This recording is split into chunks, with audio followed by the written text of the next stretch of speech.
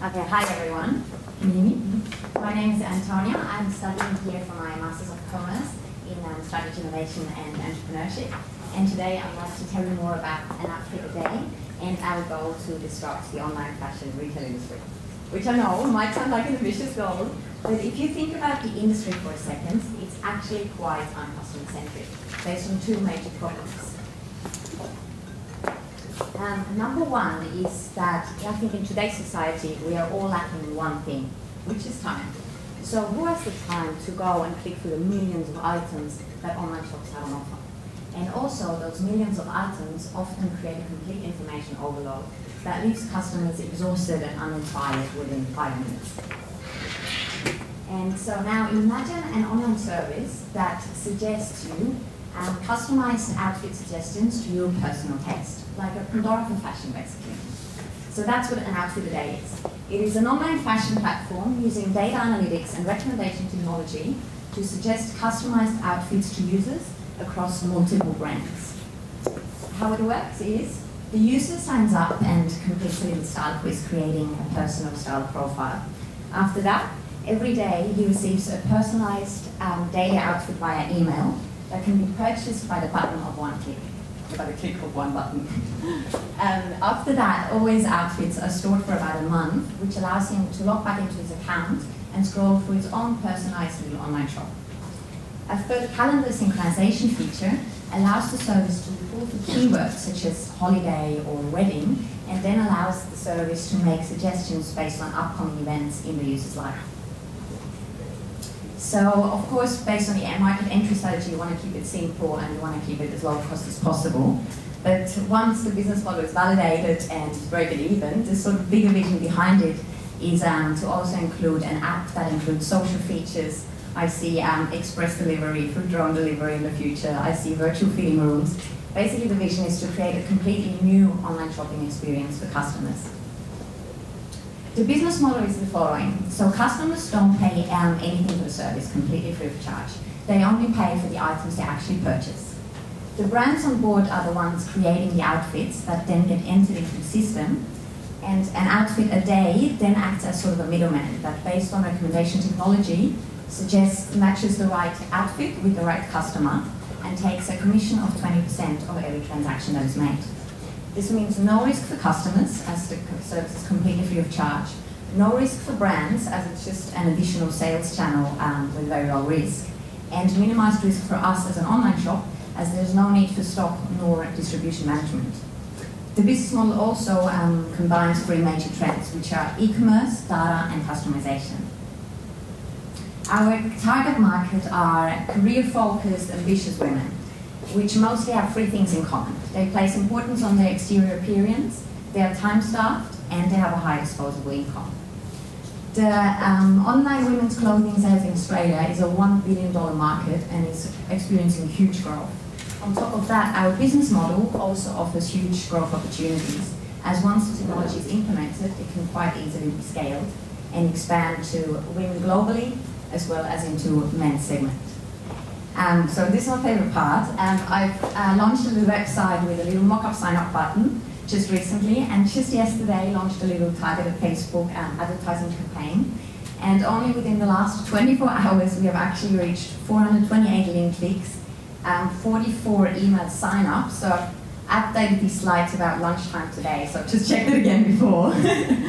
And um, we're now on 521 link clicks and 72 sign-ups to the actual service within only 24 hours. So I'm super excited about that.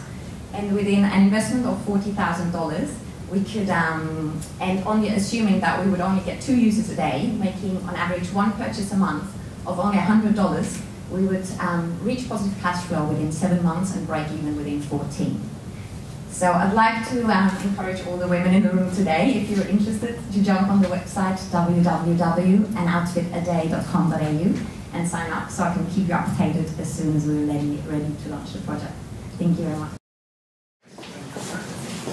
Any questions?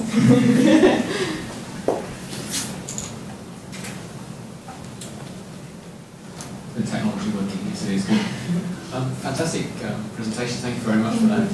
Um, one of the issues that I, I had, and I'd like to know how you're going to, to overcome, is getting the brands to put their data into the system, because they've already got computer systems with all their fashion accessories and details in it.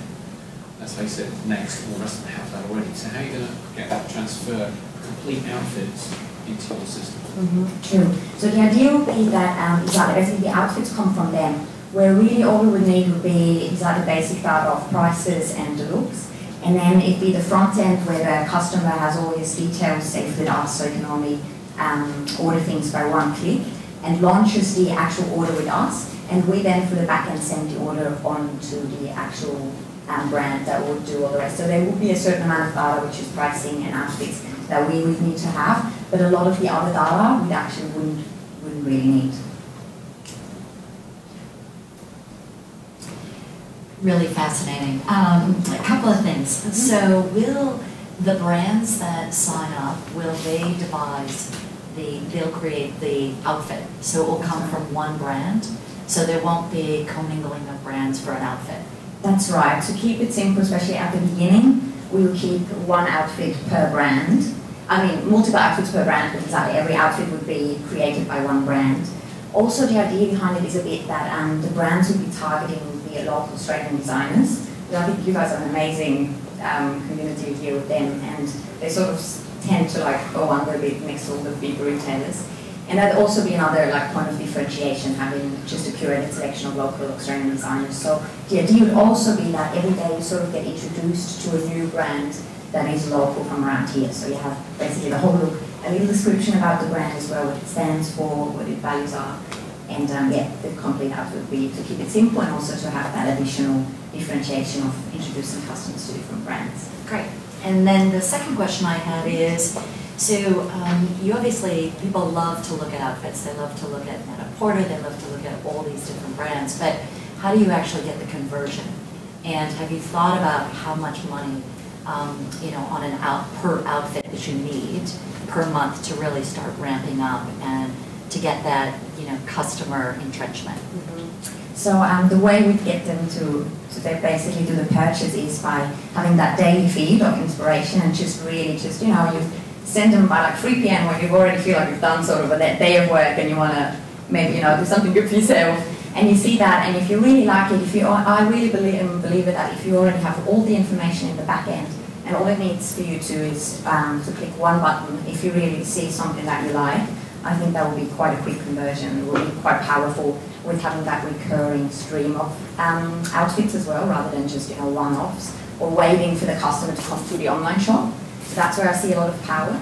And um, about the financials, so um, my financial model at the moment, which was which I made before I done that little experiment, I based on the assumption of having a two on average, getting two users every day, and saying every customer would, take, would on average make one purchase a month of $100 in value, and we would take 20% commission on that.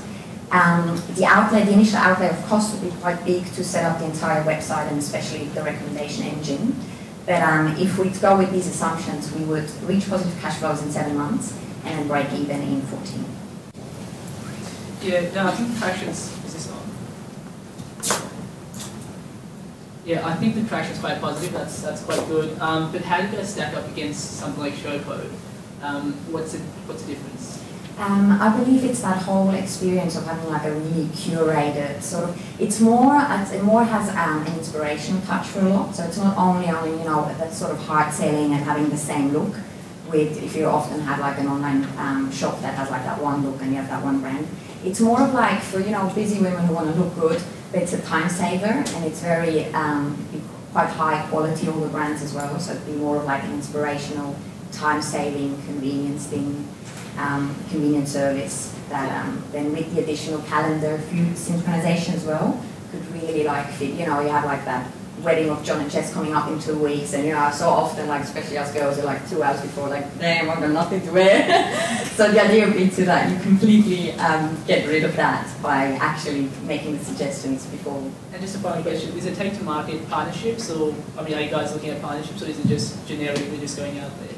Uh, sorry, with brands? In terms of uh, your launch plan, is it are you going to be looking at partnerships with um, you know existing companies, for example? That could be a good idea, or are you guys just looking to just straight away go to market? Um, I think partnerships would definitely be an option, especially with, with the sort of our target market of, you know, who you around as well, definitely. And I also believe that um, highly targeted social media will be a very effective measure as well. Thank you very much. What we look for is, in the two prizes that we're handing out, the businesses that we thought we could contribute to and help in the long term. In the hub, what we could bring to it through the Hatch program, through the sprint sessions, and ultimately through the money, of course. Um, but through our support, the two businesses we thought we could help in the longer term to become successes, an outfit for a day.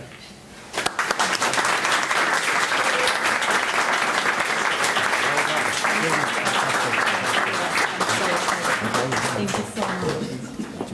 Yes,